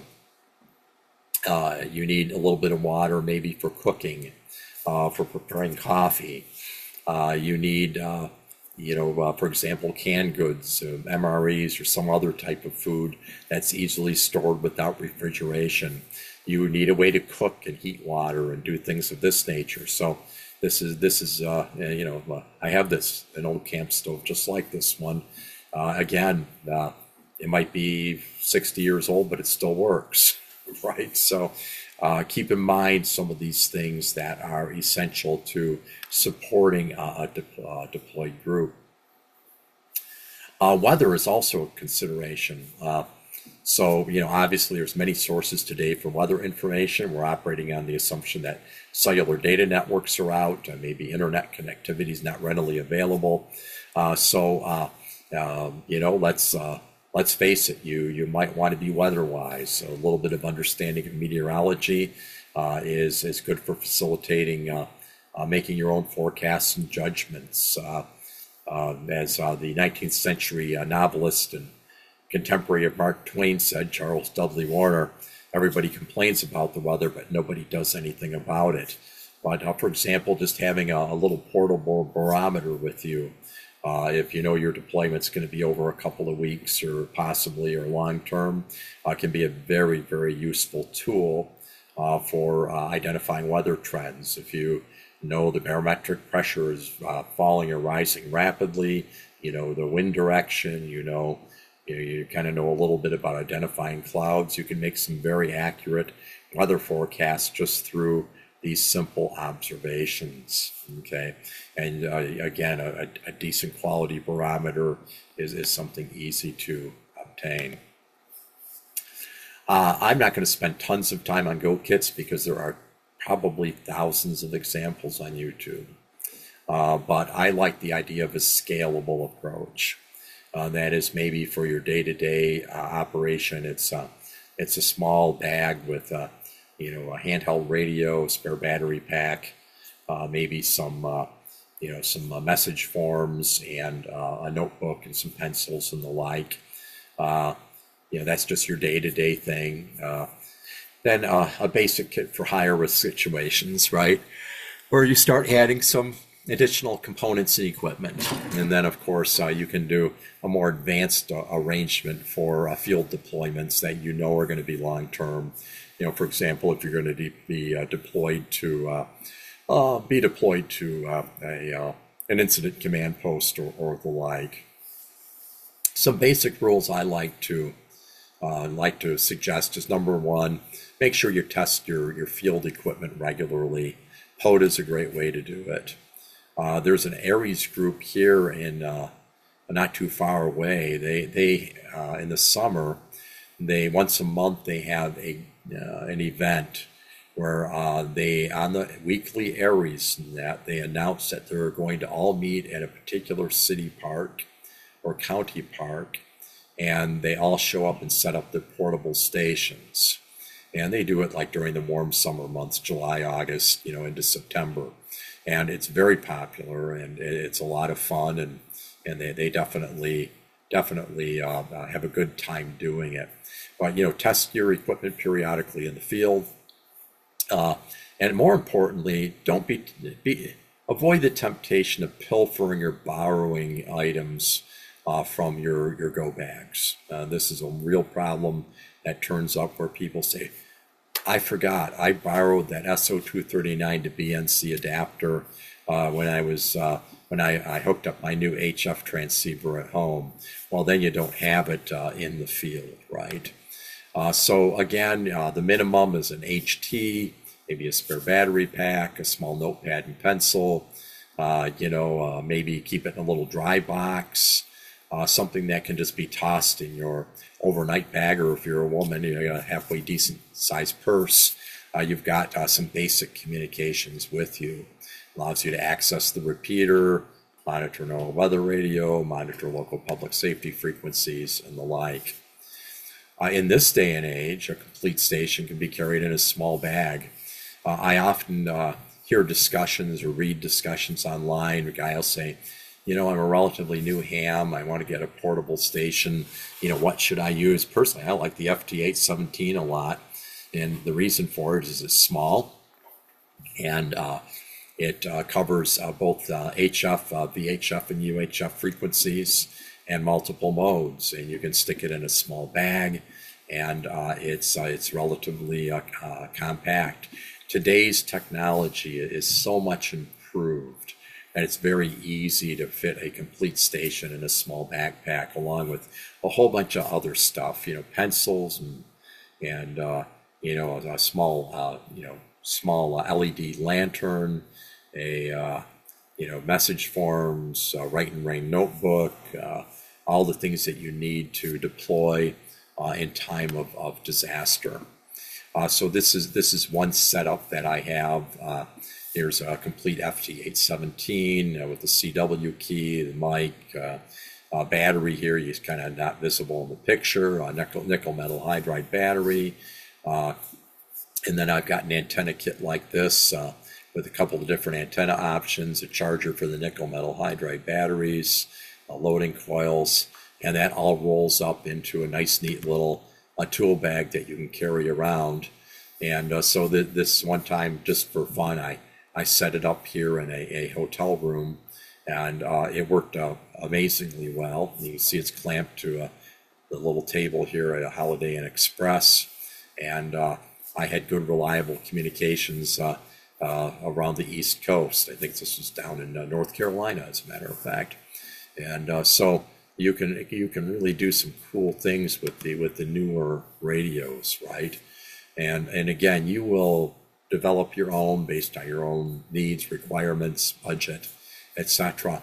But really, all you need is is just a decent little bag of some kind, uh, kind of a rugged, uh, water-resistant bag, you know, to put your HF VHF uh, transceiver in there. Uh, you know, your keys, your microphones, your batteries, your charger, uh, and your your miscellaneous administrative tools. Uh, so um, not not much to it here. So, for example, in this arrangement, you have an FT817 and tuner, a key, uh, arborist uh, throw line for tossing, uh, you know, uh, hoisting an antenna up into a tree, a half-wave end-fed uh, antenna for uh, 40 and 20 meters, roll-up J-poles, some extra transmission line, you know, an HT, things of that nature. All, all fits in a nice, nice little bag. And uh, you may want to consider, again, in the concept of having a scalable approach, maybe something that offers a little bit more power, right? So the FT817 is 5 watts, but you can buy these little aftermarket uh, 50 watt HF amplifiers, and you can uh, build one into like an ammo can, like this one, where it's uh, there's actually in this box a 120 volt AC power supply, a, an automatic antenna tuner, and a uh, a, uh, uh, multi-band uh, 50 watt RF amplifier, all kind of built into an ammo can, and it that way you can deploy that. You can run it either off 12 volts, like in a car, or you can run it off 120 volts if you have it available. Again, you usually want to have more than one battery, be it gel cell or nickel metal hydride or the like. Uh, this allows you to utilize one battery while the other battery is charging. Uh, and you, uh, again, need some options for charging, right? Be it from uh, vehicles or from a solar panel. And in this day and age, there's a lot of really nice solar panel options available out there. Uh, but again, understand that solar panels uh, are, again, subject to all the limitations, right? Time of year versus angle of the sun, uh, uh, amount of extent of cloud cover and duration. Um, they're going to be less efficient, say, in the fall and winter than they will in maybe the late spring and, and midsummer. But again, uh, you need to exercise this stuff out in the field for fun uh, before you're called upon to use it uh, in a disaster. Uh, there's all kinds of antenna options. Uh, this is a older military dipole kit. Uh, uh, that uh, kind of lives on a shelf at my uh, at my office uh, in the storage room. Uh, you can build a, a, simple random wire antenna using a chalk line reel. Uh, this is an older, oops, older high gain, high gain tape reel dipole. Now these were pretty uh, common uh, uh, years ago in commercial and military environments and they work quite nicely. You host this, hoist this guy. You actually calibrated meters, and you you just pull it out to where you need it. You clamp it down. You hoist the thing up into a tree, and you got yourself an inverted V. So there's all kinds of ways you can build out an antenna kit. And obviously, I'm not going to give you a one size fits all recipe. You'll need to kind of figure that out a bit uh, for yourself, right? And so uh, again, uh, you know, keep in mind, you know, that uh, this depends on you, your environment, uh, what agencies you normally work with, what your hazards and vulnerabilities are for your community, and so on. Uh, in this example, this bag has a bunch of HTs in it. So you can see there's a VHF uh, uh, two meter handheld, a marine band handheld, uh, a UHF handheld, uh, commercial version. Uh, and uh, they all use the same battery pack, which is, in their older, admittedly. They all use the same battery pack. I always have an airband version as well uh, for in this bag. so these are older HTs, but they they still work, and they can still serve fine in in time of emergency. this is N6IET operating portable during an RRI MCOM exercise. Uh, you can see how he's arranged his uh, portable QRP station. It's actually pretty clever. Everything's mounted on a board. It's easily transported and carried to where he wants to operate. Uh, worst case scenario, you put it in a duffel bag and you're ready to go. You can see the, the nickel metal hydride battery here. Uh, and uh, I think that's probably a KX, you know, KX one, three or something like that. I, I don't know the Elecraft radios that well, but uh, a pretty pretty clever way to do things. Uh, K9ZTV uh, uh, designed this, uh, uh, and uh, I believe I published an article about this in the old QNI newsletter. But here you can see a mast that will support a dipole or a, a high VHF or UHF antenna. Uh, and you, it, it's it's significant, uh, but from what I understand, it's fairly lightweight and, and again, a, a really clever idea from K9ZTV. So uh, again, lots of ideas out there. We should talk a bit about generators before we close. Uh, um, the biggest problem with generators that you're going to encounter in a widespread or significant disaster is the scarcity of fuel. Uh, we take for granted that there's always gasoline in the underground tanks at our local service station. But uh, if there's widespread power outage, uh, most gasoline stations, most service stations don't have backup power, so the pumps don't operate. Uh, in a disaster, gasoline sells out very quickly.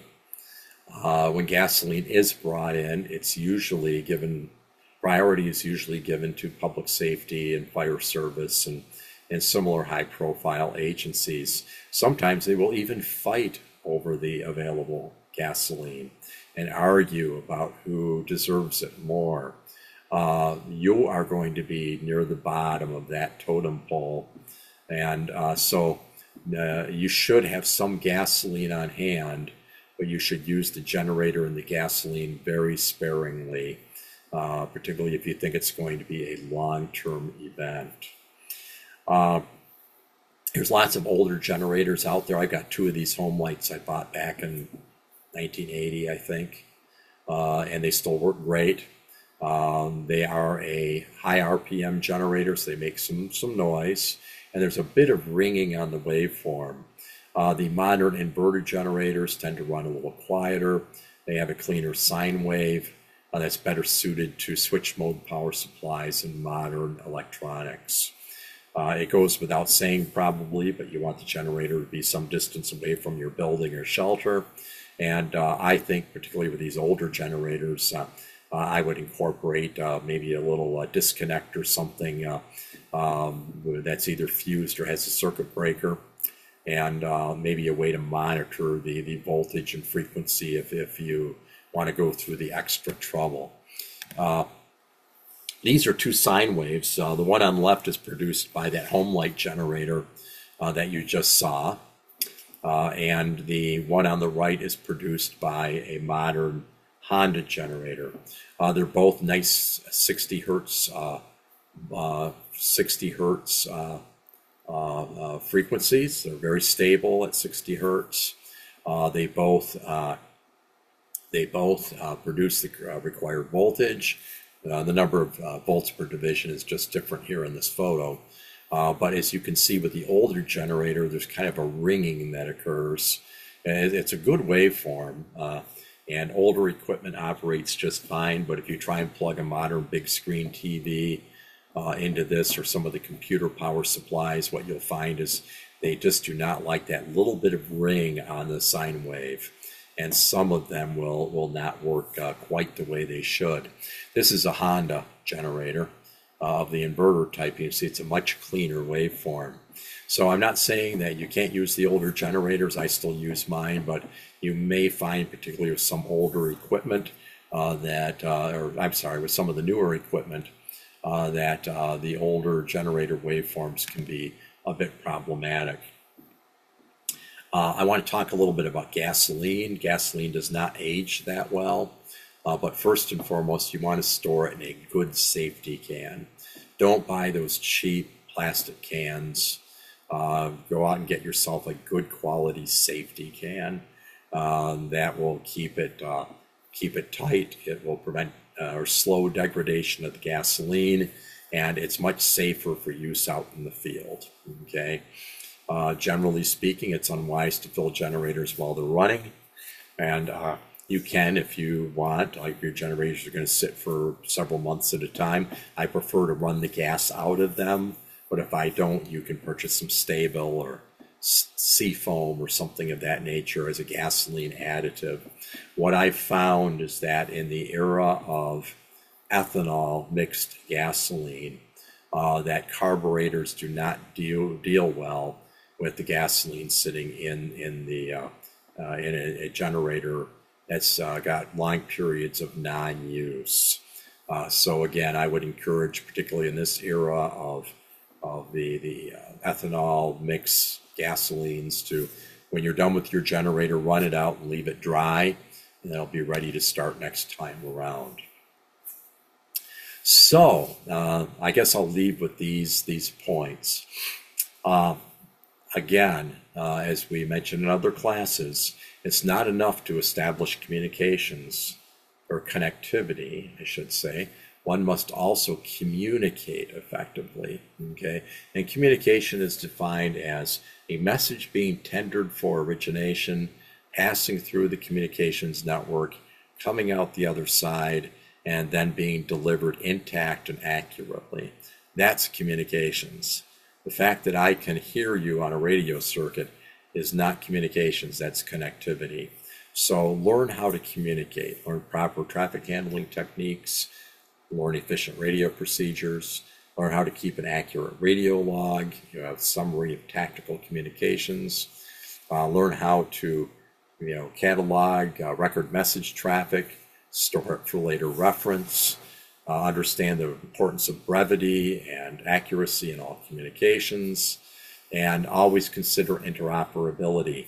Just because you have a digital terminal sitting in front of you does not mean that when that message reaches uh, the last mile, that it's going to be delivered using the same mode or method, be it amateur or otherwise, because brevity is both the soul of wit and the soul of emergency communications.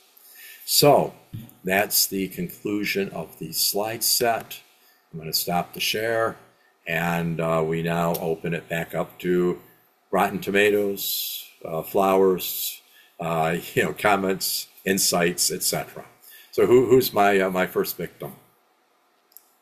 87AW. Um, with regards to a generator, uh, propane is uh, available for a lot of them, dual fuel, but uh, propane is about the same equivalent runtime as the same quantity of gas. And uh, you can just grab the cylinder off your barbecue if you have nothing else. Yeah, yeah, that's absolutely true. Yeah, there's a lot to be said for that, you know. Uh, so uh, yeah, absolutely. We'll go through some of the chat things here too. So uh, we we will we will dig into that uh, the chat ones here when we're done with the verbal the verbal comments and so forth. Uh, I appreciate that, John. That's a good point. Uh, any other uh, comments or suggestions or personal insights? Okay, so let's let's do this. Let's go through some of the comments. Uh, okay. Uh, somebody said uh, my question uh, or comment is uh, is is is the is it important to know first aid? If you mentioned it, then I beg your pardon. Uh, please don't throw away good coax cables; they become handy sometimes. Uh, thanks again. So a couple of good comments. Yeah, I, I think uh, you know hang on to them. Uh, I guess a lossy coax cable is better than no coax cable. You know, I'll, I'll certainly give you that. And, and thank you for bringing up first aid. Yeah, first aid, I, I think, is something that we should know. Um, and it's not hard to learn. Uh, Red Cross offers uh, first aid training, and as well as other organizations. And and Lewis, I, I think that was a good point that uh, you know we should know first aid. We should probably know CPR.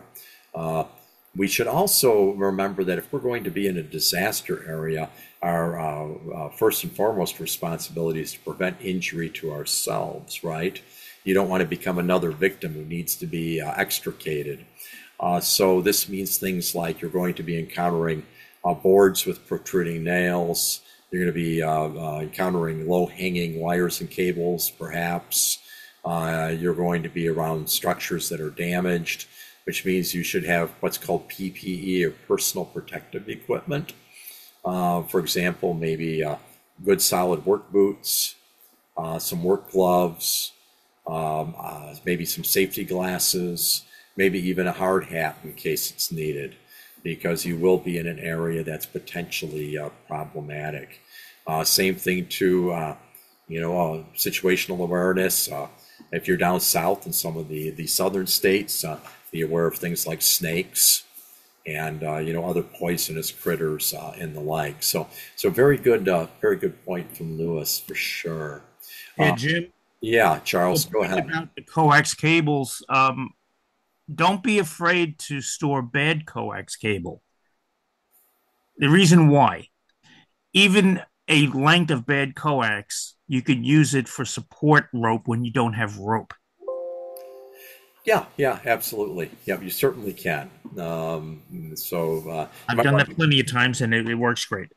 That's a good point. You might want to color code it though. Then yes, definitely. You have to mark it somehow you know, put an orange little uh, ribbon tab on, you know, flag on it or something.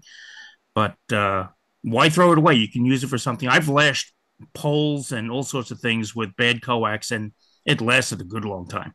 Yeah, yeah. I uh, I once hauled a uh, a Phelps Dodge Stationmaster antenna up the side of a uh, a downtown uh, building. Don't tell anybody this ever. I'm as I'm recording it, but it, it was only a couple stories left on the building, and there was an uh, an outcropping, so I wasn't too concerned. But I used a piece of coax to finish the trip uh, up to the rooftop for installation. so you know, coax can come, coax can come in handy on occasion. Uh, but uh, yeah, good point there. James, uh, somebody had a comment. They wanted some information about the LiFePO4 batteries. I can speak to that. Uh, yeah, yeah. Feel free. Uh, go ahead, John. Okay, uh, my whole station runs on 12 volts, but I've got a charger as well as solar uh, crushed uh, LiFePO4 battery, and that's also what's in my uh, Go Kit roll around with a charger that's set at about 14.4 volts on it, and and that's all. Uh, those LiFePO4s are very very safe batteries, and you can keep that charger on it forever, and it won't bother it. Uh, uh, John, I'm glad you uh, answered that. Uh, yeah, I I'm not a big fan of lithium iron phosphate. I'm sorry, I'm not a fan of uh, lithium ion batteries because they're inherently chemically unstable. So I uh, limit my use uh, uh, to lithium iron phosphate batteries because they are chemically stable. And if uh, if you drop or damage a, a lithium ion battery, uh, it will supply its own oxygen and burn at extremely high temperature.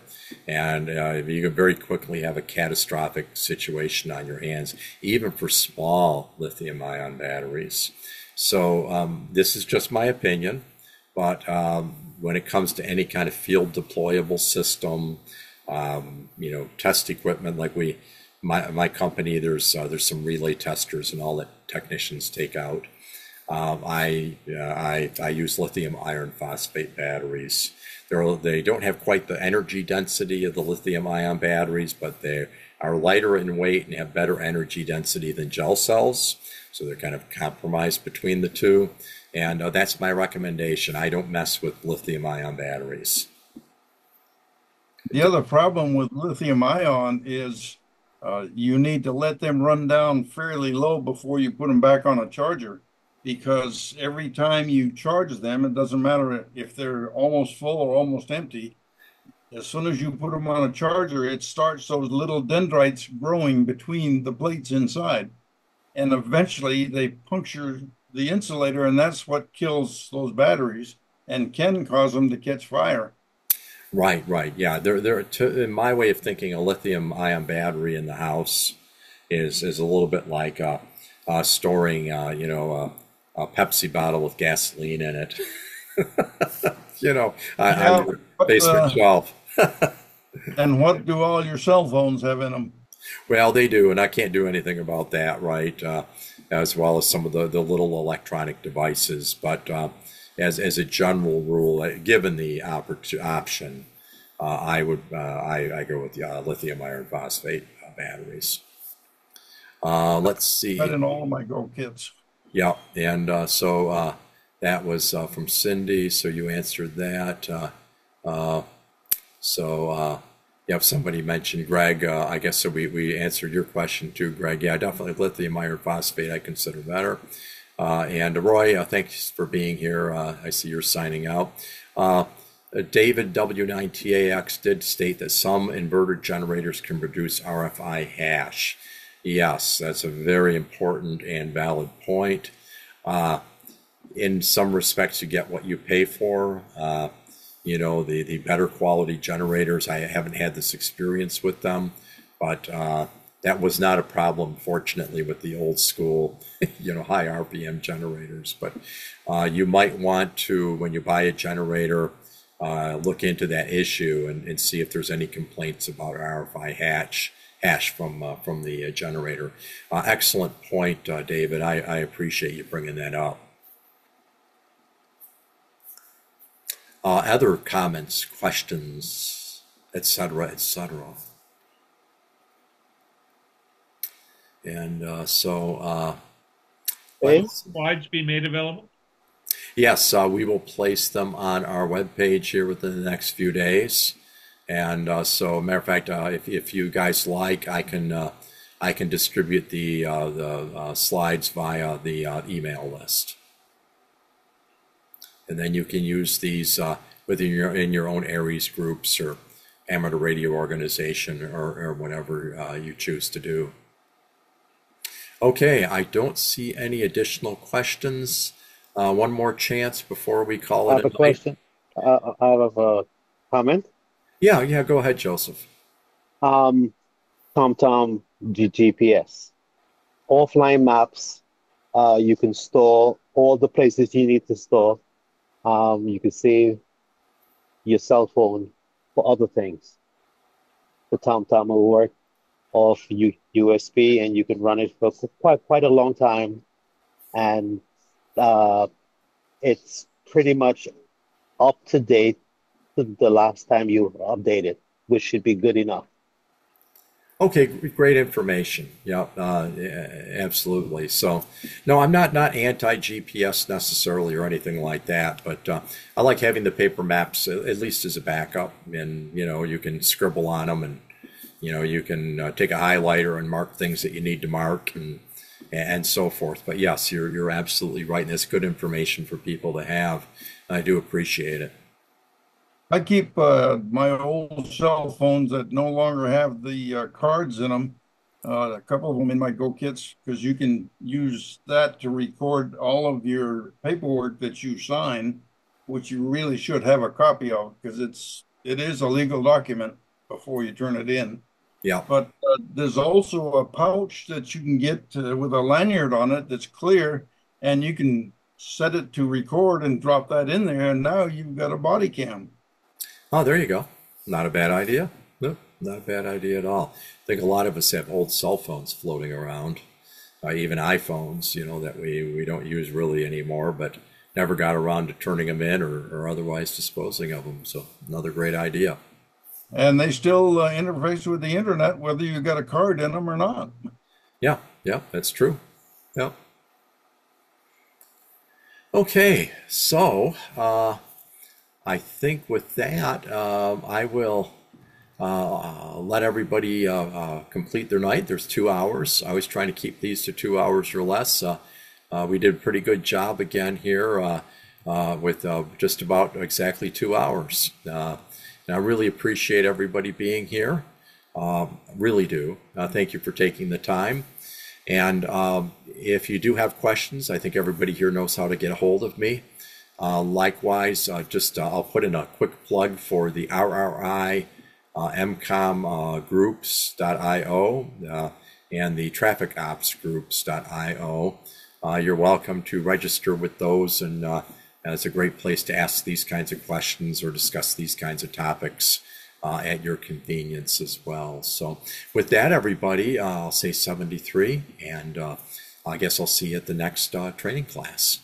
Uh, James, before you leave, Yeah, um, on the Radio Relay org website, under the training materials section, under the publication, uh, you have this presentation uh, labeled as TR003 below the ham watch, which is also la- labeled TR003. Okay. Thank you for pointing that out. Uh, we'll, we'll go ahead and correct that. Okay. Yeah, I appreciate that. Okay, uh, any other uh, things before we go? Well, ladies and gentlemen, again, thank you so much for being here. And I will end the call and enjoy your evening. And uh, we'll talk again, uh, talk to everybody again soon. 73. Twenty-three, James. Away. Thank Take you. Take care. Thank you. Bye bye. Bye bye.